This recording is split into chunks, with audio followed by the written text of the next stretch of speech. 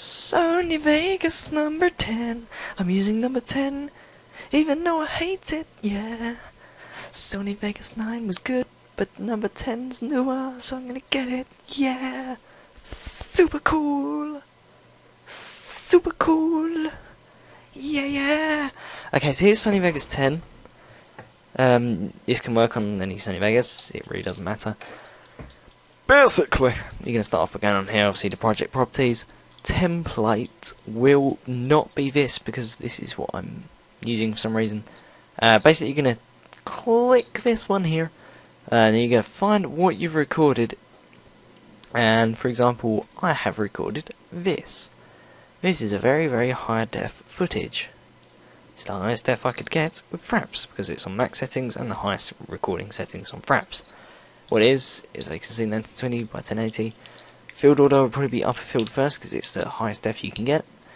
Uh, frame rate, another big thing. Don't just sit there and go, oh, it'll be better on that because I recorded it in that. If I render it in that, it will look better. No, no.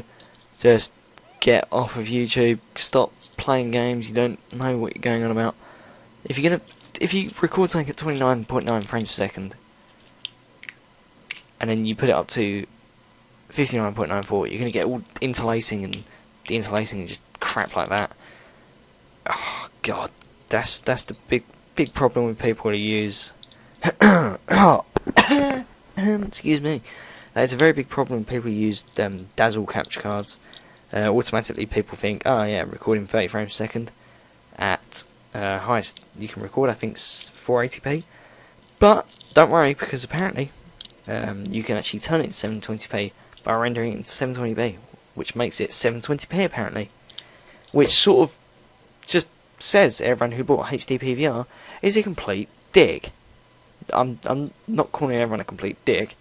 I'm just saying that's what people that's what people are being seen as because otherwise, what's the point of buying a HD PVR if a Dazzle can magically make it 1280 by 720p. It can't, so don't try. Keep it what frame rate you can. Um, Pixel Format 8, best guys and Blend fields. I love it how you can just go on these rants and just continue on nicely. Start on the projects, obviously. Apply. Hit OK. Right, now you're going to go in. oh, God, man, I got something in my throat. That's what she said. Um, and just drag a file over. And as you can see here, you're going to want to put it on best full Best full, all, the way. And just find a nice shot, such as... Oh, that looks quite good, actually. Let's try and find a nice sort of. That does look good. Um, that one... Don't know, it's got some nice bright colours. Okay. Now, the one... The first thing you can do is go all the way down. And say... Say you're going to do like a let's play of like a game. And all of the sort of colours are going to be the same. You're going to go to sharpen.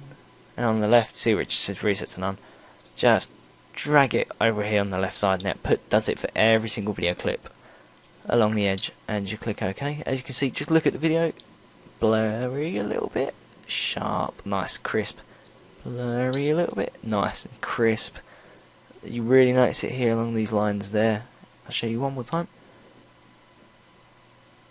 There you go.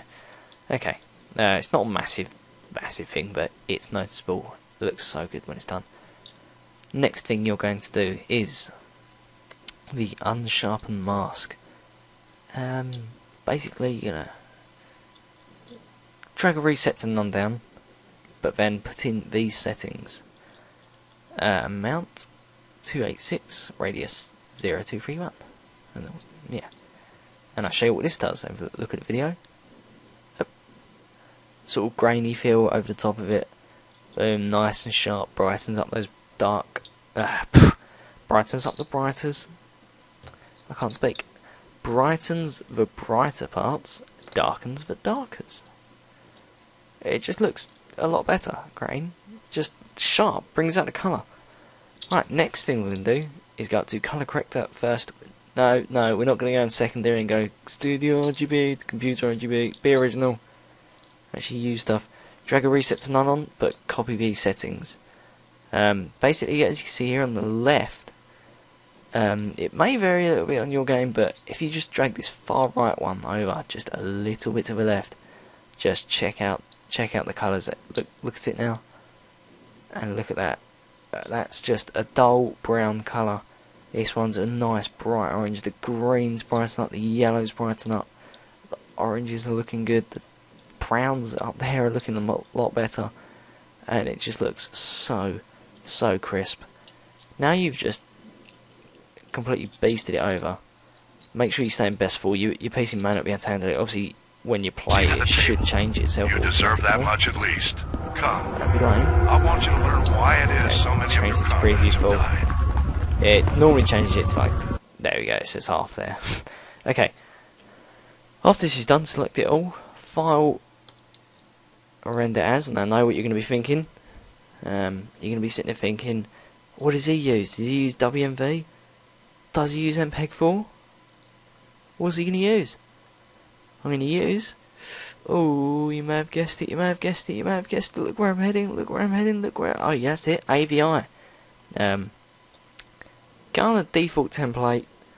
Obviously here, this is where you're going to use.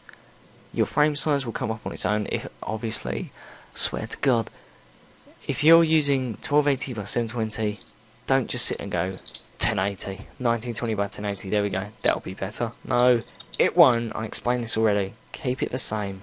Frame rate, keep it the same. Field order, upper field first if you're using HD footage. Pixel aspect ratio, 1. Video format, uncompressed.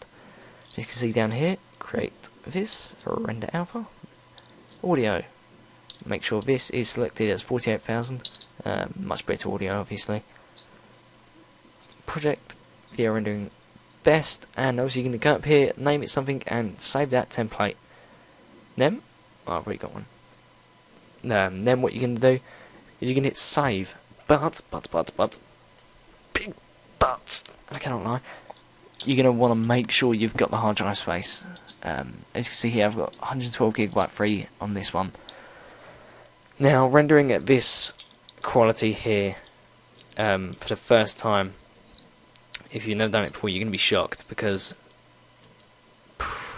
I think a four minute clip at 1920 by 1080, so this is 1080p uncompressed, four minute clip will be about 50 gigabytes. Yeah, that was 50 gig, not megabytes. 50 gigabytes for a four minute clip. Choose the hard drive with the most space, okay? Open it and save it there. Okay, now once you've done that, no, I don't want to save. Once you've done that, you actually get a giant, giant file, like I said.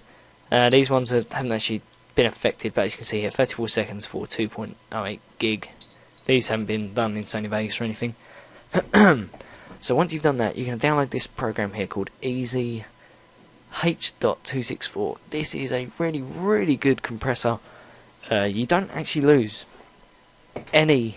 Oh, actually, hardly any quality at all doing this. Obviously, you're going to have to lose some quality because it's compressing it, it's making the file size smaller. Blah blah blah blah. Could ramble on about this all day long. But you can select your file, and boom, there we go. Output, select it to your output, okay, desktop will do.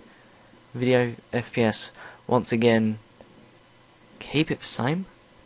And then preset, depending on how big your file is and how quick you want to upload to YouTube. If you've got a 15 minute video, you're going to want to probably keep it around extreme, extreme pass. If you've got a 15 video, 15 video minute video with an absolute beast upload time, yeah, the biggest one you can get. Boom, right there. Starting coding. May take some time, be patient, okay. Sit there, wait for it to do its business, and then you'll get a file size such as this. This file here, I was talking to you about, it was, let's see how long it is. That's what she said. Um, it's about, yep, like I said, about four minutes. This one file here, see, it doesn't look good there, it's in Windows. No! It's this Windows Media Player, but just picture it in YouTube. Make file size go down, and it will look beast. Can't really see it there though, so I'll probably upload this to YouTube as an example, exemplar, as an example. Um, this file size was 50.4 gig or 54 gig. What is it now? Let's check it out. 199 megabyte. But like I said, that's only for 4 minutes, so if you've got a really big, fast upload speed, then use the highest one like I did there. Um, but apart from that, guys, that is it. I, I don't think I could have covered anything else. And how long have I been recording for? This is a 36 minute tutorial. This is going to have to be a three part tutorial just on how to use Fraps without lag. Every other tutorial I've seen is just a simple, what, like three minute video of just people going, use this quality, use this quality. That's it. You won't, you won't get lag. Oh no, it's fun excited, you see. So, once again, guys, I don't think I could have covered anything else. If I have, then please feel free to write in the comments below. Um, this part of the video, I'm gonna say, uh, feel free to like this video. Hell, in actual fact, I don't, I don't even like likes on my videos. I could care less. I would rather I'd rather much have 20 people comment on the video saying thank you very much. It's like really helped. You know, like, it solved my crash problems. Bloody blah, guys, this works, or something like that. Rather than having say like a hundred thumbs up. Uh, thumbs up tells you nothing. Actually, it's giving you feedback, man. That's what. That's why I make these videos. I just, as you can see from how, how was it? 36, 37 minutes now of me just rambling on about fraps, defragmenting stuff. I can do this for however long I want. I mean, I'm just. Well, I mean, what? It's ten past ten, like uh, in the evening. I can do this for however long I want. I really don't mind. So, like I say, guys, please feel free to comment. See if it actually works. Test it. Tell others that it works. Um, what else can I talk about now? Um, if you've got any other, any questions, if it, if it doesn't work, just please feel free just to comment or even send me a message saying, look, really sorry, it, it didn't work. Do you reckon you'll be able to help me out even further? Yeah, I will. You don't understand how many. I mean, one of the videos I uploaded was how to get your NAT open. I've had, what, like 20 something thousand views on it, and every day it gets a new comment. And say, like, one every three, like, one in every three days, it gets a comment saying, it, it didn't work, sorry. And I respond to that comment straight away saying, What's your router? What make, model is it? And then as soon as they send me that, I go onto Google, I search up how to do it, I, I try and find out, and I let people know. I don't just sit there and just give up on it. I mean, what's the point of uploading a tutorial if you're not going to give feedback? Um, but yeah, like I said, feel free to comment, feel free to ask for any help. And guys, subscribe for more videos. Um, going to be doing a Crysis 2 Let's Play as soon as possible. What is the date? The date is officially 24th. So the game was released today, I believe, in Europe. Uh, it's only, actually just gone live on Steam. I think uh, we could actually go and check that now, but I can't bother. So, yeah, stick around for that. I've got loads of stuff. Minecraft, Half Life 1's doing to get finished off uploading. I'm trying to get. Uh, oh, what is it? BT. Fiber optic fast broadband thing. We get like up to 10 meg upload, so I can actually upload a hell of a lot in a day. God, that would be so epic. Guys, thank you very much for watching. I'm going to end this video now. Um, I really do hope this helped you out. 40 minutes. Oh my god, that's so epic. And I will see you guys in the next one very soon. See you then, guys. Goodbye.